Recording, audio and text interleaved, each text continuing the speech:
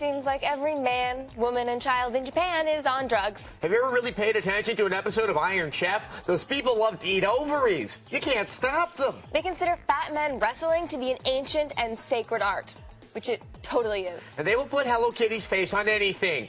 Anything. Luckily, the nation that seems to be leading the world in the production of whimsy has produced a sequel to the strange yet addictive Katamari Damacy. Here's our review of We Love Katamari. Year ago, a quirky little game with almost no publicity behind it whatsoever called Katamari Damacy captured the attention and hearts of the entire gaming world. Overnight, the king found himself a superstar. The adulation of the crowd knew no limits. So, how do you follow up an unexpected hit that prides itself on its uniqueness? The king is so cool! Self-referentialism, of course. Oh such a chorus. Fans crying out from all over the world for the magnificent king to do his thing.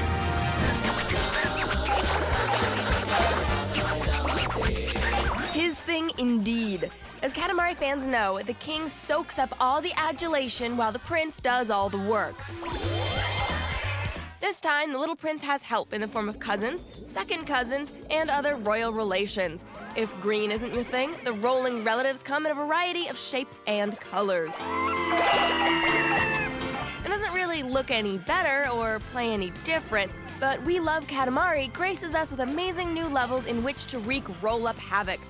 More stages have specific themes, and the objectives vary beyond just roll up a really big ball of things. Roll your flaming Katamari around a campsite, torching the scenery and terrifying campers. Venture underwater and abuse sea life, but watch out for the fisherman's hooks or you'll be reeled in, wasting precious time. Invade a fantastic gingerbread land and roll up a candy coated house brick by delicious brick. Or collect a hundred students as you rampage through a school building. Interesting to note that, due to the king's newfound fame, it's likely that everyone being rolled up in We Love Katamari is fully aware of their eventual fate to be burned up into incandescent cosmic matter. That's why they're screaming. Along the way, you'll uncover the history of the king of all cosmos, learn of his strict upbringing.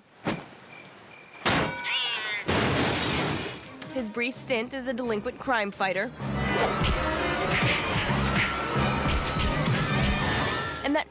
Day when a severed pompadour and half a loaf of bread would lead to love at first sight.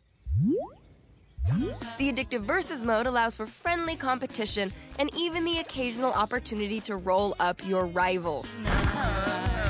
The co op mode makes two players share a single Katamari. Be warned, for every peaceful co op session you play, five others will degenerate into fistfights looks like we'll have to wait for next gen sequel to really take the audio visual elements of Katamari beyond what the PS2 games offer. While the wackiness and addictive gameplay remain intact, We Love Katamari drops the ball as far as advancements go. In other words, a 4 out of 5.